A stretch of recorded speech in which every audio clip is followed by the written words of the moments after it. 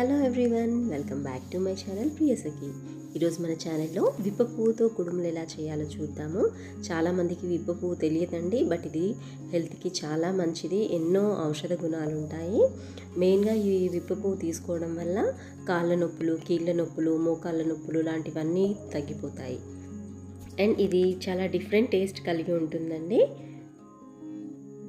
చూడ్డానికి విప్ప పువ్వు ఇలా ఉంటుంది.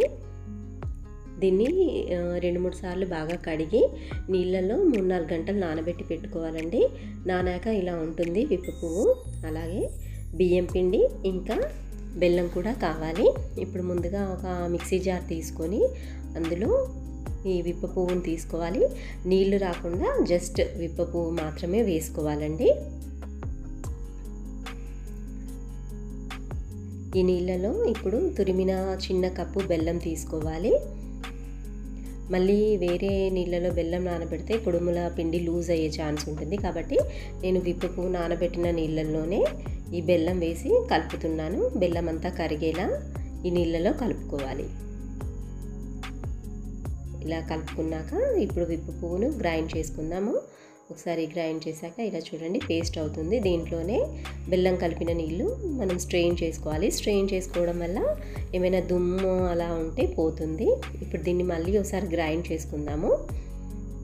గ్రైండ్ చేసుకున్నాక చూడండి ప్యూరీలా తయారవుతుంది. దీన్ని ఒక బౌల్లోకి తీసుకోవాలి. తీసుకొని దీన్ని బియ్యం పిండితో కలుపుకొని కుడుములు చేసుకోవడమే అండి. అంతే సింపుల్. దీనికి ఇంతే బియ్యం పిండి అని ఏం కొలత లేదు. ముందైతే కొంచెం పిండి తీసి పక్కకు పెడుతున్నాను. ఒకవేళ అవసరం ఉంటే మళ్ళీ వాడదాము.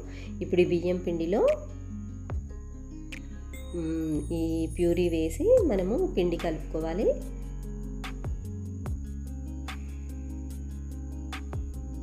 ఈ పిండి కన్సిస్టెన్సీ సేమ్ మనము ఆవిరి కుడుములు చేసుకుంటాం కదండి అలా ఉంటే సరిపోతుంది. అంటే మరీ గట్టిగా కాకుండా మరీ లూజ్గా కాకుండా కలుపుకోవాలి. మరీ పిండి గట్టిగా కలిపితే కుడుములు గట్టిగా వస్తాయి. నేను మొత్తం ఈ ప్యూరీ అంతా వేసేసాను. విప్పపు ప్యూరీ అంతా వేసేసాను. ఇప్పుడు దీన్ని చేతితో బాగా పిండి కలుపుకోవాలి. మరి లూజ్ అయితే కుడుములు పళ్ళకు అంటుకున్నట్టుగా ఉంటుంటాయి ఉంటాయి నవ్వులుతుంటే మరి పిండి గట్టిగా అయితేనేమో కుడుములు గట్టిగా వస్తాయి.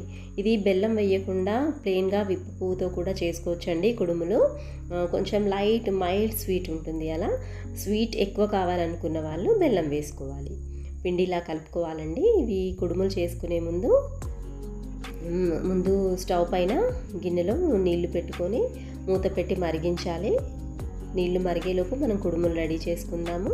ఇప్పుడు ఒక జల్లి తీసుకొని దానికి కొంచెం ఆయిల్ అప్లై చేసుకోవాలి కుడుములు వేసుకోవడం కోసం. ఇప్పుడు పిండిని కొంచెం కొంచెంగా తీసుకొని కుడుములు చేసుకోవాలి. ఇవి ఇదే షేప్లో చేసుకోవాలని ఏం లేదండి.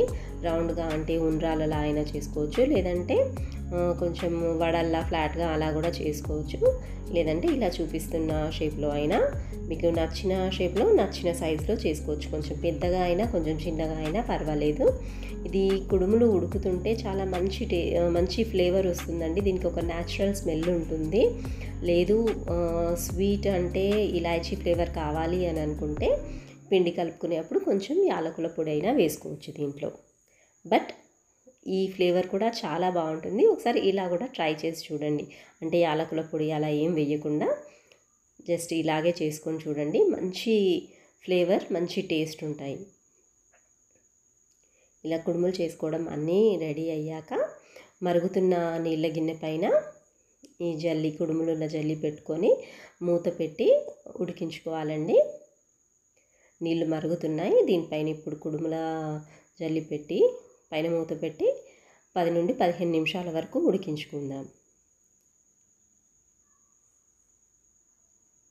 నేను ఫిఫ్టీన్ మినిట్స్ తర్వాత మూత తీసి చూస్తున్నాను.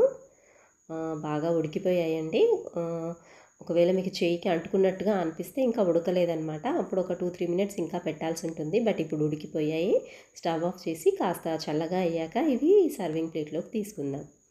చూసారుగా ఎంతో సింపుల్గా ఉండి హెల్తీగా ఉండే విప్పు పువ్వు కుడుములు ఎలా చేసుకోవాలో మీరు ఒకసారి ట్రై చేసి చూడండి ఎలా వచ్చిందో నాకు కామెంట్స్లో చెప్పండి. ఇంకా ఇలాంటి ఇంట్రెస్టింగ్ వీడియోస్ కోసం నా ఛానల్ని సబ్స్క్రైబ్ చేసుకోండి పక్కనే ఉన్న బెల్ బటన్ క్లిక్ చేసి ఆల్ అనే ఆప్షన్ సెలెక్ట్ చేసుకోండి. Thank you for watching